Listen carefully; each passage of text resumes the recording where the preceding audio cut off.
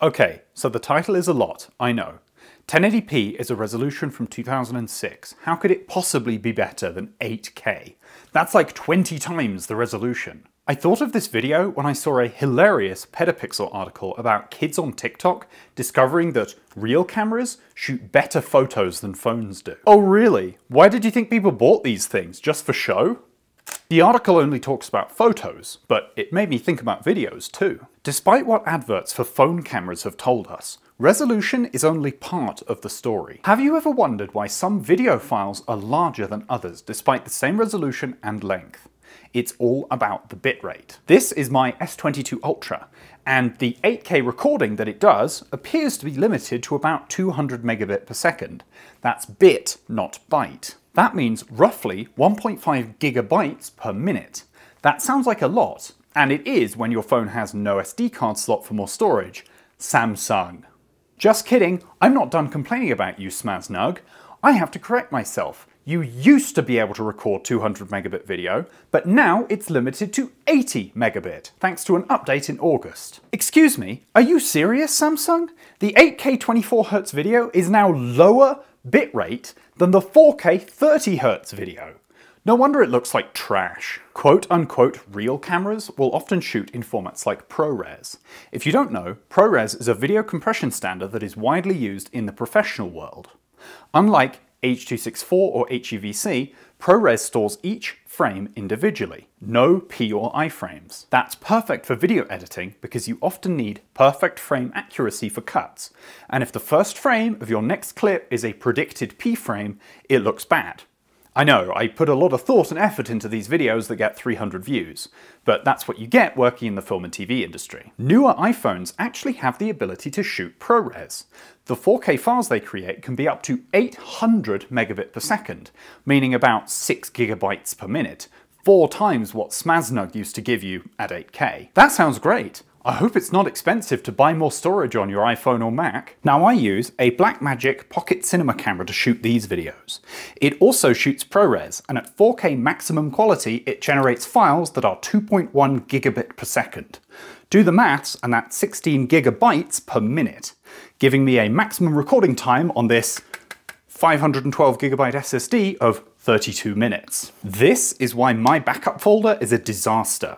Making PC build videos takes a lot of footage, and I think Backblaze might be losing money on me. It is worth pointing out that the maximum 1080p 24fps bitrate the Blackmagic camera shoots is 500 megabit, so 3.8 gigabytes per minute. Still significantly more than even pre-nerf Samsung 8K. I know I've been juggling jargon and various video resolutions and bitrates in this video, but the simple answer is that higher bitrate is better, regardless of resolution.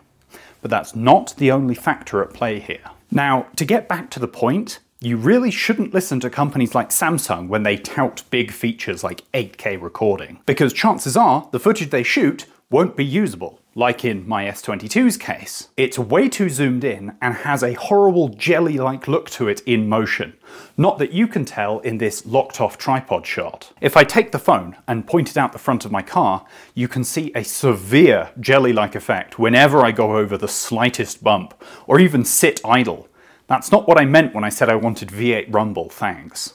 This is the result of the phone using a rolling shutter. That means the sensor inside the camera records the image line by line, usually rolling down, hence rolling shutter. And at 8K, I expect it takes so long for the low power chip inside to record 4,320 lines of pixels that real life moves ahead and the result is this ugly, unusable image. Basically every camera I can afford uses a rolling shutter. Here's footage of a Tigercat shot on my Nikon D500. The rolling shutter makes the props look all wobbly. A camera with a global shutter would eliminate this issue completely, but even the phone at 4K looks massively better, so I really do think it's a processing power issue, and therefore a higher bitrate isn't going to solve anything. In fact, higher bitrate would probably mean more processing power is required. So realistically, I bet 200 megabit per second at 24 FPS was the best Samsung's engineers could tease out of this setup. This is supported by the fact the highest bitrate option after the update is 4K 60, at 145 megabit per second. It's quite telling that 4K 30 is not only higher bitrate, but enjoys a greater amount of post-processing than 8K 24. If I drive down the same road as in the 8K clip, you can see there's still some wobble when the road isn't stable, but it's vastly better. If I take freeze frames, 8K does have more detail, but does that matter if in motion the video looks like it might cause motion sickness? The stabilization on the 8K also behaves strangely. It was on a suction cup mount on the windscreen, screwed in tight. So why is the hood moving about so much?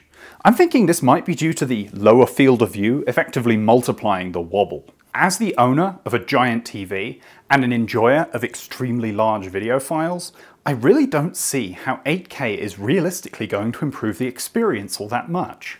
This is the largest TV I can practically keep in my house.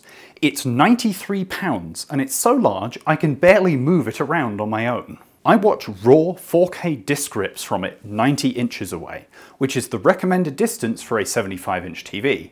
And, well, I can't see the pixels. According to Rtings, I would need to sit about 50 inches from this TV to see the difference, assuming I had perfect vision.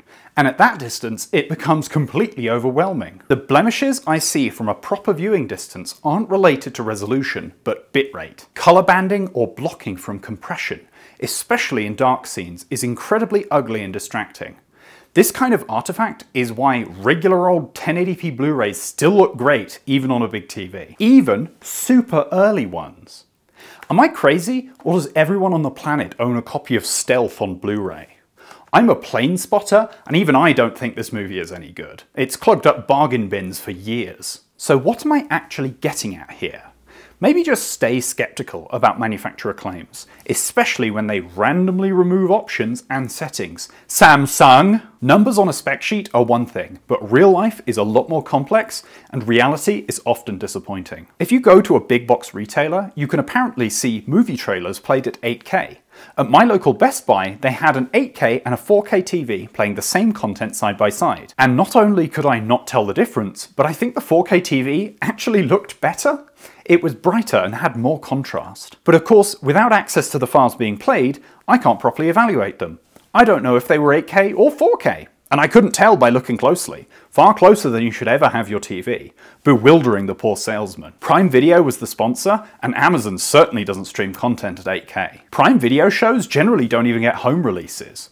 The PS5 might have an 8K logo on the box, but that doesn't mean you can go out and buy a movie at 7680 by 4320. How large would those files even be? 4K movies on disk often touch 70 gigabytes, so multiply that by 4. Yes, 4.